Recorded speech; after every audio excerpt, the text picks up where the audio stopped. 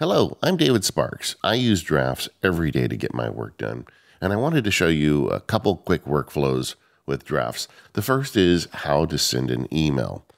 So here I am on my iPhone with some of the drafts widgets, but I've also got the drafts app down in the dock. I'm just going to go ahead and tap on that, and you'll see the thing I love most about drafts is when you open it, it's just ready to go. You don't have to create a new file or do anything silly. The screen is ready. You can start typing.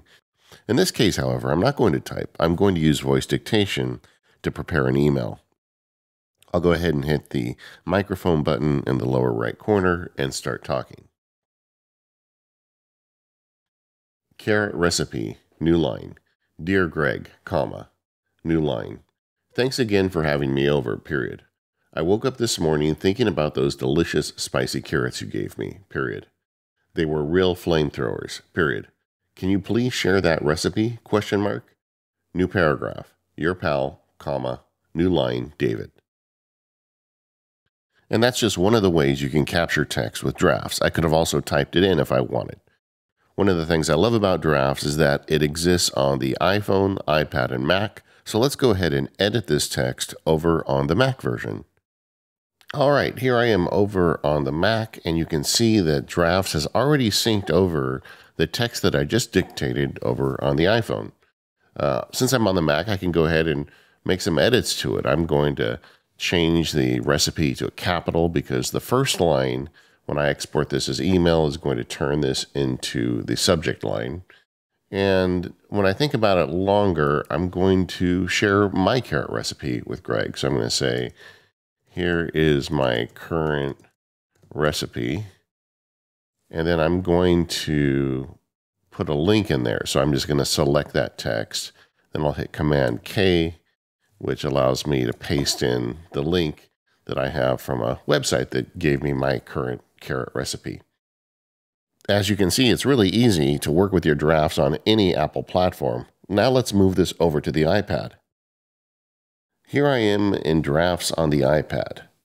All I'm going to do now is send this as an email. So I'm going to hit the actions button and you can see I've got an mail action right here with this green icon. I'm going to go ahead and make a quick edit to this action.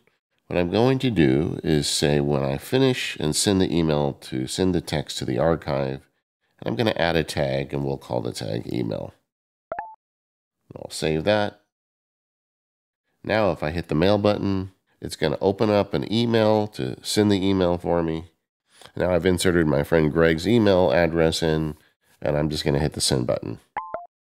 Once I did that, it sent the email and archived the text. So if I go back over here and I look at my archive, you can see there it is, and it has the email tag applied. Now, normally you wouldn't write an email about spicy carrots on all three of your Apple devices, but I wanted to show you how drafts can work between all three of them. I use that workflow when I'm writing long emails, but for short ones, you can do it all on one device. There's a lot of advantages to writing your email in drafts. Doing so, you can immediately capture the text so you don't have to monkey around with setting up a new email message. Drafts has better voice to text support, so you can dictate your email, as you can see that I did here. Another thing I love about it is you never see the inbox, so you never get that inbox distraction where you open your mail app and suddenly you're off to the races with some other email that just came in. For me, using drafts to write email is the shortest path from idea to action, and anytime I can do that, I love it. However, you don't have to use this workflow just to send email. You could just as easily take that text and send it as a text message. The beauty of drafts is you can quickly capture that text and use it anywhere on your device.